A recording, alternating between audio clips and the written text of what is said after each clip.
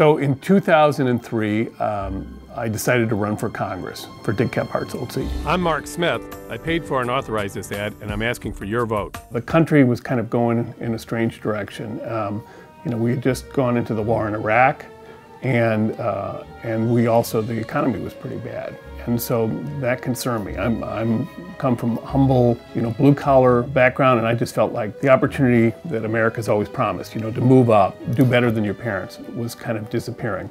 So the first part of the campaign, all you do is try and raise money. So I'm not a person who likes to ask people for things, and that's all you do in a campaign. So I would call you up, Hello. and I would say, hey, how's it going? Do you want to give me? And then I would just say some outrageous amount because because you might say yes. You're going all the time because I've got a. I mean, I had a hard job at the law school and I had to do it. I was drinking probably uh, five pots of coffee a day. I'm not exaggerating either. I remember one time, this is towards the end of the campaign, I'm having a fundraiser at our meet and greet at a coffee house. It's like six o'clock. I'm tired.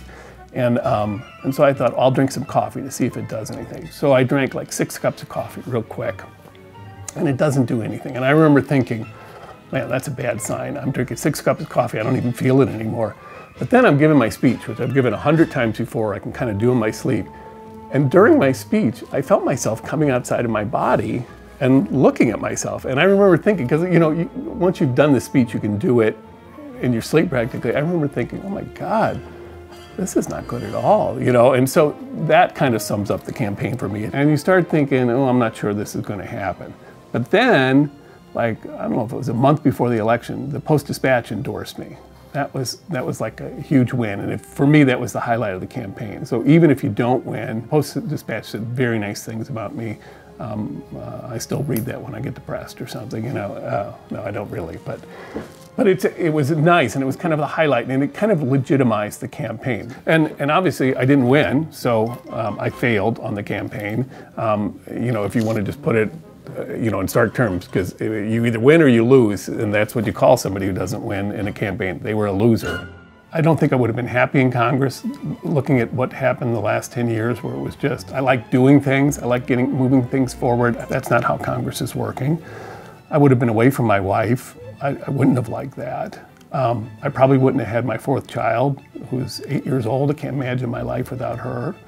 Um, there's all these things. I, I, I, wouldn't have this job that I have now, which I really love, um, and these other opportunities. So it's like most things, you know, it feels like failure, but then like a phoenix, you come back and you get some new things and, and it, it always works out. If you don't have failure in your life, you're not taking enough risks. And I remember when I came over to the law school, and the dean of the law school at the time, Dan Ellis, um, I was telling him about something I wanted to do, and I was kind of saying, I'm a little worried about this, and I wanted to, you know, I was doing kind of CYA thing. This may go bad. And he said to me, look at Mark, you know, if we're, if we're not making mistakes, we're not trying the right stuff.